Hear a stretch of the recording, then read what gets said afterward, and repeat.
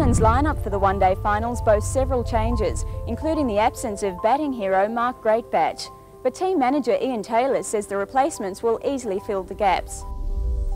Well, basically, the Grandstand Sports Show is on air for about 14 hours over the weekend, and we have to provide a fairly national and international show covering events as large as Olympic and Commonwealth Games.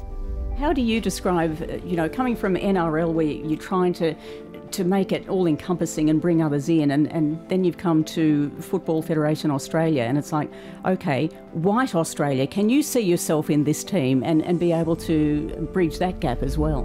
We were actually in quarantine in, uh, in the Gold Coast. We just played the T20 World Cup, won the T20 World Cup. So when you came in as captain, what was your number one priority? Shane Warne's passing at the age of 52 has shocked the sporting world, but this larger than life character will live on, remembered as perhaps one of sport's true great characters.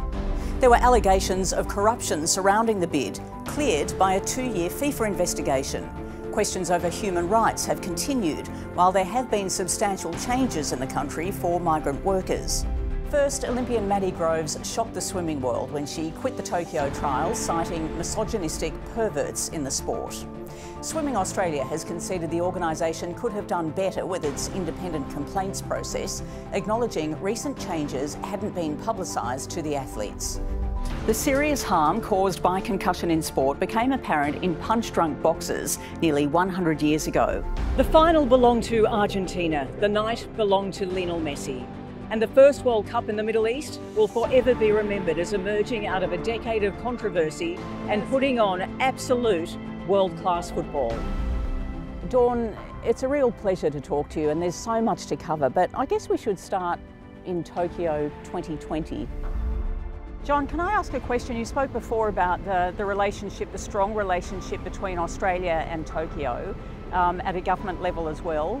What about for the Beijing Winter Olympics and how different that scenario is? Okay, come here, come back. What do you think? Messi, Messi, Messi, Messi, Messi, Messi, Messi. Thank you, thank you. Ankara Messi, Ankara Messi.